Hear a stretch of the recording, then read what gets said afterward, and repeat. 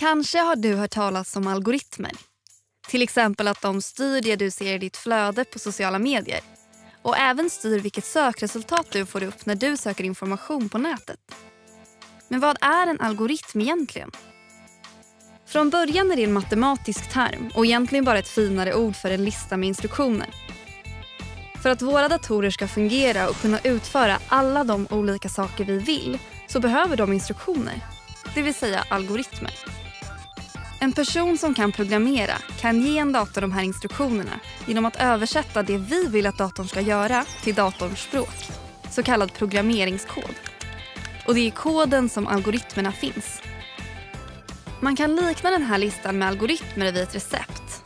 Om du till exempel ska baka muffins så följer ju du ett detaljerat recept i rätt ordning. Hur mycket mjöl, hur mycket socker, vilken temperatur i ugnen, hur länge de ska gräddas och så vidare. Tills muffinsen är klara. I sociala medier skulle instruktionerna istället kunna vara om Kim är vän med Love så visa hens bilder högst upp. Men om Kim brukar gilla bilder med muffins så prioritera det istället. På det här sättet kan en programmerare styra vad som visas högst upp med hjälp av algoritmer. Och på samma sätt som du kan ändra receptet och tillsätta en sked kakao om du vill ha chokladmuffins så kan programmeraren ändra algoritmen och få ditt flöde att se annorlunda ut.